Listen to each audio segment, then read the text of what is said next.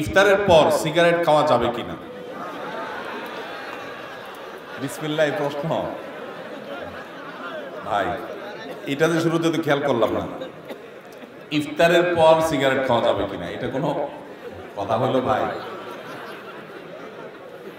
ইফতারির পর, আসলে হয়তো বা প্রশ্নটা এমন কোনো ভাই করছেন, যিনি যিনি প্রশ্নটা লিখে পাঠিয়েছেন, হয়তো এই বেচারা সিগারেটের বদভ্যাস আছে, আবার লোকটা রোজাদারও। তো সারাদিন ধূমপান ছাড়া থাকতে থাকতে থাকতে থাকতে বেচারা অধৈর্য হয়ে ইফতারের পরপরই হয়তো বা সিগারেট দিয়ে ইফতার করে কিনা, আল্লাহ জানে। ইফতারের পর ধূমপান করা গুণা কারণ যেটা মানুষের স্বাস্থ্যের জন্য ক্ষতিকর এবং নিশ্চিত ক্ষতিকর, যেটা মানুষের জন্য বিষের মতো ক্ষতিকর, ধ্বংসের দিকে মানুষকে নিয়ে যায় এবং যেটার ক্ষতি ছাড়া কোনো উপকারিতা আপাত দৃষ্টিতে নাই, সেই জিনিসটা মানুষের জন্য হালাল হয় না, সেটা মানুষের জন্য খাওয়া জায়েজ হয় না। ধূমপানটা সেরকম একটা বিষয়।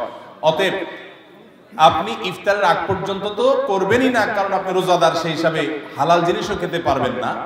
কিন্তু ইফতারের পর যদি কেউ ঘুষ খায়, ইফতারের পর যদি কেউ কুকুরের গোস্ত শুকুরের গোস্ত খায় সেটা যেরকম ইফতারের পরে খাইছে দেখে হালাল হবে না, ধূমপানটাও ইফতারের পরে করছে দেখে হালাল হবে কথাকে বুঝাতে পারছি? আমাদের সমাজে কোন কোন ঘুষখোর আছে। আমি শুনেছি, দেখি নেই, যে তারা নাকি বিভিন্ন অফিসে ঘুষ খাওয়ার সময় যখন যারা ঘুষ দিবে ক্লায়েন্ট তারা আসে, তখন নাকি ড্রয়ারটা খুলে বলে, এখানে রেখে দেন ভাই, আমি রোজা আছি তো ইফতারের পরে নেব। এরকম শুনছি আমি। আল্লাহ জানে এরকম আসলে আদতে আছে কিনা, বাস্তবে আছে কিনা। তো এই বেচারা, সে রোজা রেখে ঘুষের টাকা ধরবে না। রোজা ভেঙে ইফতার করার পর তারপরে ধরবে। তার মানে সে মনে করে রোজা রাখা অবস্থায় করলে রোজার অসম্মান হবে। তো রোজা রাখার পরে, ইফতার করার পরে যে করবেন, তাতে আল্লাহর নির্দেশ লঙ্ঘন হবে না? রোজা মানে তো বিরত থাকা, সিয়াম মানে বিরত থাকা। তার মানে হারাম থেকে বেঁচে থাকার ট্রেনিং আমি নিচ্ছি এখান থেকে। সেটা আমার আমল করতে হবে সারা জীবন পর। অতএব যারা রোজা রেখে ধূমপান করছেন না, তারা ইফতারের পরেও ধূমপান করবেন না। আল্লাহ আমাদের ভাইদেরকে বেঁচে থাকার তৌফিক দান করবে যদি কোনো কারণে শয়তানের প্ররোচনার পরিচিতি আপনি করেই ফেলেন, তো আপনি প্রতিজ্ঞা করবেন আস্তে আস্তে সেখান থেকে বের হয়ে আসা।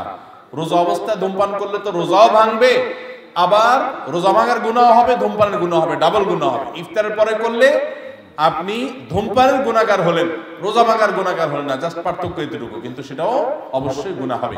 আমি প্রায় বলার চেষ্টা করি, যারা ধূমপানের বদভ্যাসে আক্রান্ত, আসক্ত, ছাড়তে পারতেছেন না, রোজার মাস দারুণ সুযোগ।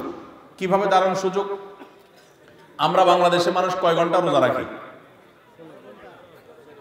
ষোলো ঘণ্টা। পনেরো ঘন্টাই ধরে। পনেরো ঘণ্টা যদি আপনি রোজা রাখেন, ইফতারি মাগরিবের নামাজ, ইফতার করে এসে আবার খেতে বসেন, এই পুরো সময় মিলে রাতের খাবার সহ মিনিমাম এক ঘণ্টা তো লাগে নাকি? তাহলে ষোলো ঘণ্টা এঙ্গেজ হয়ে গেলেন। তারাবিন নামাজ আর এক ঘণ্টা, সতেরো ঘণ্টা। সাহারি আপনার ঘুমাইতে যান আপনার ছয় ঘণ্টা মিনিমাম, তাহলে কত ঘণ্টা হলো? তেইশ ঘণ্টা। আর সাহারি খাওয়া টাওয়া মিলিয়ে ফজর নামাজ মিলিয়ে বা ফজর নামাজ তো রোজার মধ্যে চলে গেল।